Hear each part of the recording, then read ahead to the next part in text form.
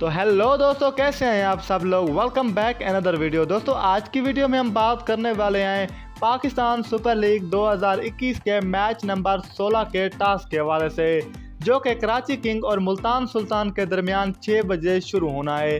तो यहाँ पर मैं आप लोगों को टॉस के मुतल अपडेट करता चलूँ तो यहाँ पर कराची किंग ने टॉस जीत लिया है। जी हाँ दोस्तों, कराची किंग ने टॉस जीत कर पहले फील्डिंग करने का फैसला किया है।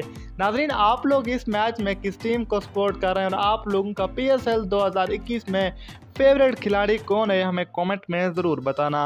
इन पी एस एल में तमाम मैचेस के टॉस की अपडेट सबसे पहले हम आप तक पहुँचाते रहेंगे।